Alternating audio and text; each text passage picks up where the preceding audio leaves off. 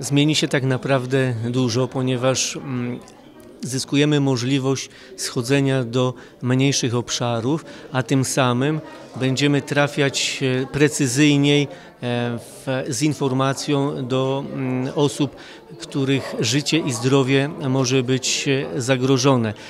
To jest chyba największy plus tej możliwości, ponieważ mm, mieliśmy świadomość taką, iż rozsyłanie alertu RCB do potencjalnie niezagrożonych obszarów, ale objętych technicznie koniecznością rozesłania, powodowało pewne zobojętnienie na odbiór też tegoż SMS-a.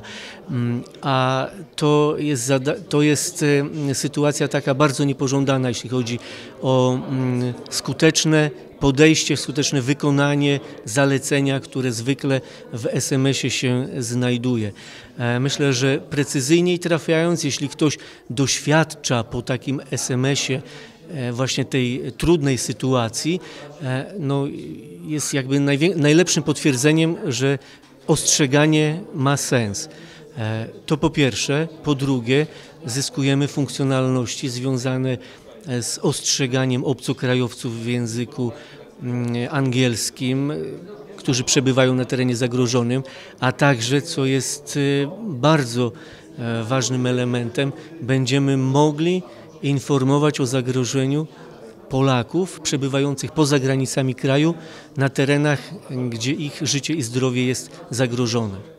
Tragiczne, tragiczne wydarzenia w Suszku spowodowały, e, że przeanalizowaliśmy system ostrzegania ludności. Stwierdziliśmy, że nie jest on e, doskonały, że e, zawodzi tak naprawdę czynnik ludzki, bo mamy godzinę po 15, bo mamy być może weekend i informacja gdzieś tam utknęła w urzędzie nie została rozkolportowana. W związku z powyższym doszliśmy do wniosku, że musimy stworzyć narzędzie takie, które niezależnie od woli będzie umożliwiało przekazanie informacji o zagrożeniu. Alert RCB jest jednym z elementów systemu ostrzegania o zagrożeniach i w żaden sposób nie jest konkurencją dla regionalnego systemu ostrzegania. Zaletą alertu RCB E, z punktu widzenia państwa jest to, że obywatel nie musi wyrażać żadnej zgody na otrzymanie ostrzeżenia, nie musi ściągać żadnej aplikacji, jest po prostu ostrzeżony wtedy, kiedy występuje zagrożenie. W przypadku innych systemów trzeba albo zainstalować na, na telefonie stosowną aplikację, albo wyrazić zgodę na otrzymywanie ostrzeżenia. Tutaj dostajemy ostrzeżenie niezależnie od naszej woli. Tą sprawę bada cały czas Agencja Bezpieczeństwa Wewnętrznego i e, Policja. W związku z powyższym e, no nie chciałbym jakoś specjalnie się rozwodzić nad tym tematem.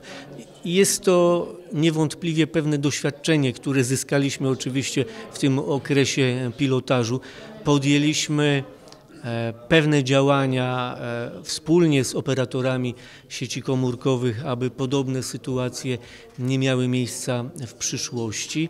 Mm, czy będą miały? Trudno mi powiedzieć. Jesteśmy non-stop e, pod wpływem ataków cybernetycznych, więc musimy z tym zagrożeniem walczyć, ale a liczymy na to, że, że skutecznie przeciwdziałamy temu, co się ewentualnie mogłoby wydarzyć. E, w tym konkretnym przypadku wszystko wskazuje na to, że mieliśmy do czynienia naprawdę z bardzo wąskim rozpropagowaniem tej informacji i mm, Według mnie ona nie e, została rozkolportowana poprzez ingerencję w systemy rozsyłające, a, a była po prostu zręcznie spreparowaną informacją e, w postaci zdjęcia.